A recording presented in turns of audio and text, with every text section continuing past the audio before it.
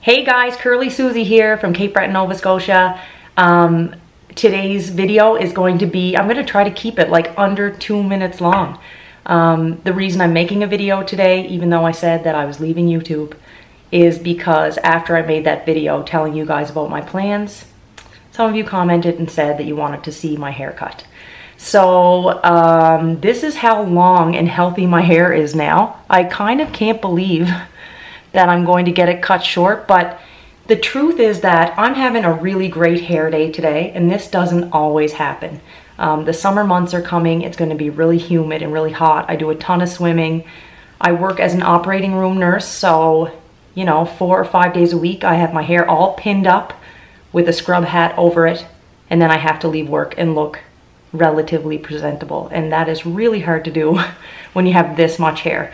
So I'm really looking forward to the freedom of having a short haircut that takes two seconds to style. Um, yeah, I'm pumped. I'm so excited. I love getting my hair cut. It is very energizing or something like that. I don't know. But anyway, I better go. I don't want to be late. And I will see you in about five or 10 seconds with short hair.